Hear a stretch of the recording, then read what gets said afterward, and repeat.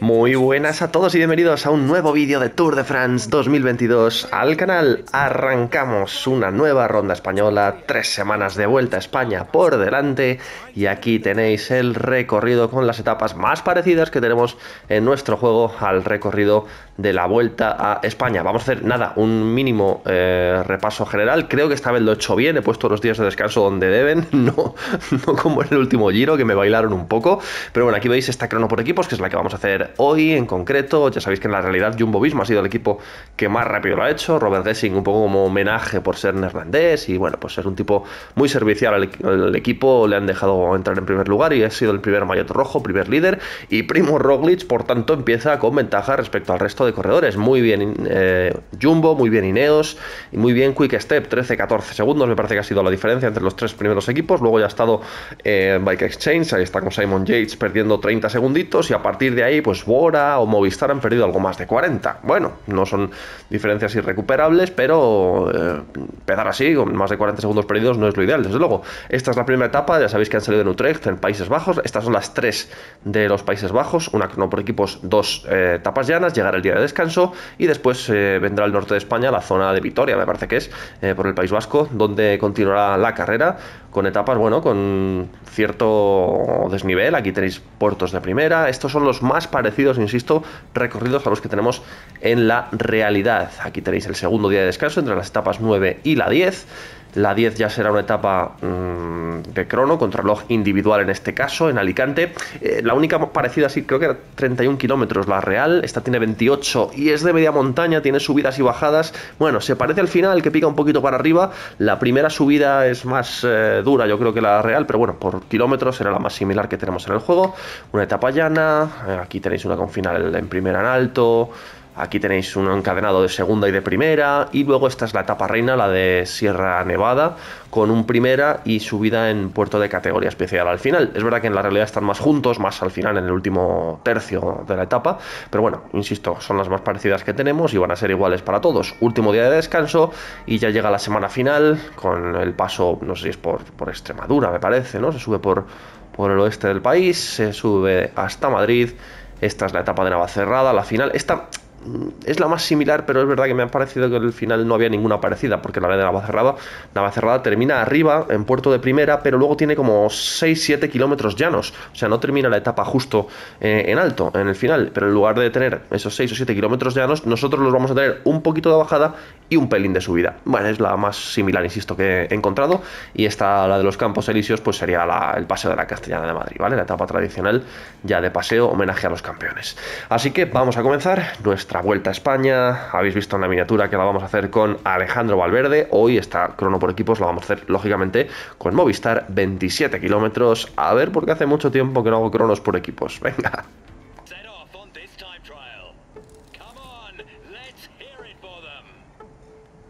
Vamos, con Alejandro Valverde, sabéis que esta es la última bala, la última carrera profesional de Alejandro Valverde, o la última gran carrera de tres semanas de Alejandro Valverde.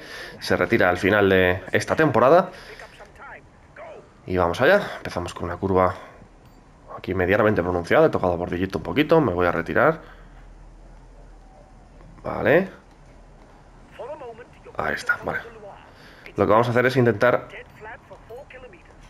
dar relevos más largos con los eh, ciclistas más rodadores, ¿vale? Con los mejores contrarrelojistas. En este caso, bueno, Valverde es un buen contrarrelojista.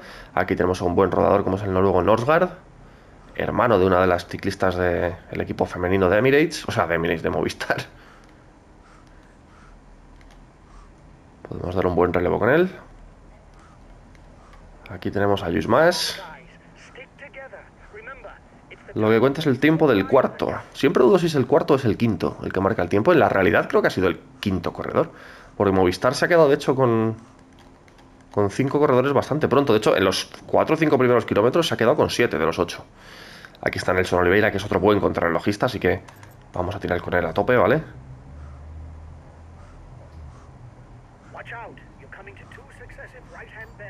Vale, hay que girar. Bien, hemos tomado medianamente decente esa curva. Vamos a seguir con este relevo largo con Nelson Oliveira. Entre Oliveira, entre Valverde. Aquí levantamos otra vez, nos vamos al exterior. nos piden acelerar. Por cierto, estoy haciéndolo, como veis, en nivel campeón, ¿vale? Por eso tenemos guía de esfuerzo, aunque sabéis que la guía de esfuerzo, bueno, pues no es 100% fiable. Hay que ir contando un poco los kilómetros que nos quedan. Vale. Poner así en tercera persona un ratito, para ver si... Vale, no se me ha quedado nadie importante. Vamos a ir dando relevos, venga. José Joaquín Rojas, que está a tope. No es un grandísimo contrarrelojista. Más un perfil sprinter en sus orígenes, de hecho. Pero bueno. Vale, 5 segundos más de nuestro tiempo ideal. Bueno, más o menos nos estamos manteniendo. Un poco en el objetivo. Rojas, por ejemplo, está fastidiado ¿eh? de, energía roja. Vamos a darle un revito aquí con Jorgensen. A Jorgensen, por cierto, le he metido en el equipo. Cuidado. Ah, bien. Porque el que no está es Jorgensen. Eh, el suizo, me parece que es.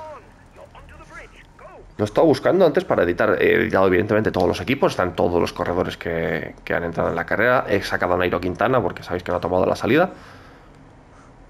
Por esa sanción que está. Bueno, pues va a acudir al TAS, me parece. Por el tema del tramadol, un calmante.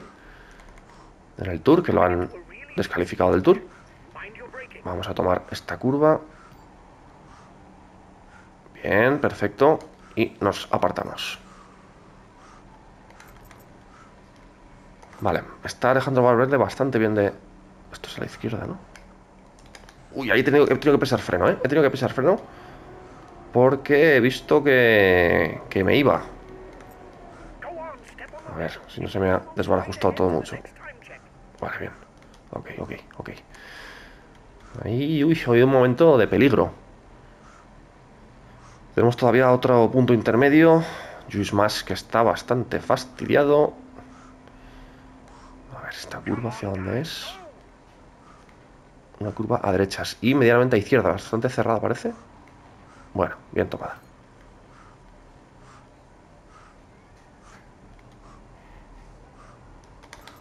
Estoy un poquitín para abajo, voy a aprovechar para bajar. Cuidado con esta curva a la derecha. Bien, 10 kilómetros quedan, ¿eh? Vamos a relevar ya a Luis más. Y ahora Nelson y Oliveira le voy a meter aquí una buena caña. Quedan 9 kilómetros. Uy, qué buena curva con Oliveira. Vamos a llegar al segundo punto. 22-29. Eh, le tenemos ahí delante. Vamos a estar ahí, ahí, ¿eh? No sé si va a llegar, pero por poquito. Parecido antes, como 8 segundos más. Bueno, está bien. Y Oliveira va muy bien de fuerzas, ¿eh? Le voy a meter un relevo grande. A ver, esta parece medianamente cerradita. Bueno. Aquí me piden que baje esfuerzo, pero no lo voy a bajar porque quedan 6 kilómetros. Hay que exigir. Vale. Aguantamos con Oliveira, ¿eh? 5 kilómetros. Vale, vamos agrupados todos. Perfecto. A tope con el son. Con Alejandro Valverde, probablemente nuestro mejor contrarrelojista. Uy, peligrosa esta curva, ¿eh? Uf.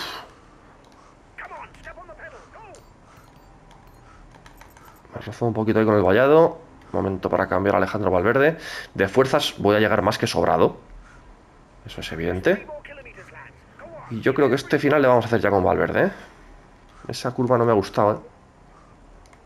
Creo que he perdido a uno por ahí detrás, pero bueno, no falta mucho. He tenido que rozar el freno, muy poquito. Nelson Oliveira vuelve a tomar la delantera. Veis que estoy, los últimos 10 kilómetros los he hecho a tope, ¿eh? A topísimo.